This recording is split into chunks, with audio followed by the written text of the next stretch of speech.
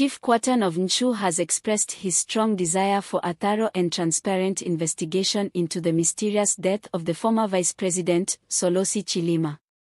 He believes that any credible investigation should start by examining the words Chilima spoke to Malawians before his untimely death. Chilima often said, keeping quiet was not a sign of being a fool, and, I am not afraid and I will not retreat. Chief Kwataine interprets these statements as indications that Chilima was deeply troubled and not at peace.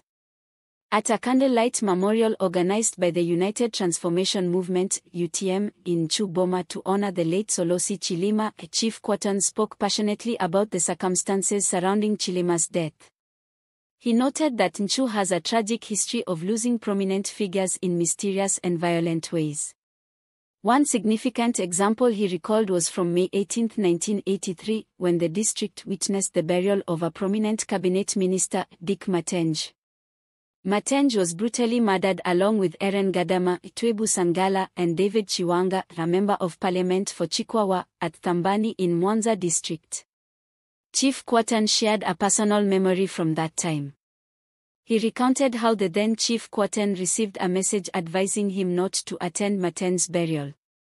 The reasons for this were known only to the Malawi Congress Party MCP government led by Dr. Hastings Kamuzu Banda. Despite being young at the time, Chief Kwataine witnessed the heavy military presence at Matenje's burial, a precaution taken to ensure security. He noted a similar level of security was present at Chilima's burial, highlighting the significance and tension surrounding both events. Reflecting on Chilima's life and his untimely death, Chief Kwataine emphasized that Chilima, who was fondly called Impibaini, stood for peace and justice in Malawi.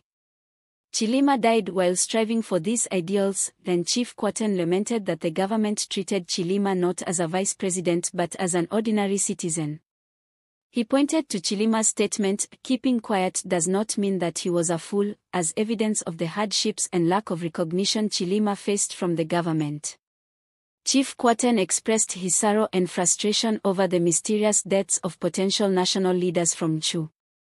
He said, What is paining us is when we have someone from the district who has reached a stage where he can become the president of the country, he dies mysteriously.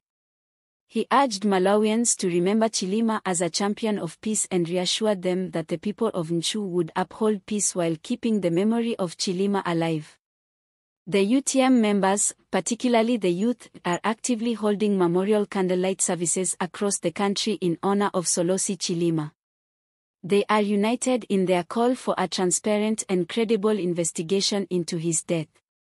The demand for an honest inquiry into Chilima's death has gained momentum, with many Malawians advocating for the establishment of three separate investigative bodies. One would represent Chilima's family and the UTM, another would involve church organizations and civil society groups, and the third would be led by the MCP and the Tonse Alliance government. This approach aims to ensure that the investigation is unbiased, thorough, and trusted by all parties involved. The call for a transparent investigation reflects the widespread desire for justice and accountability in Malawi.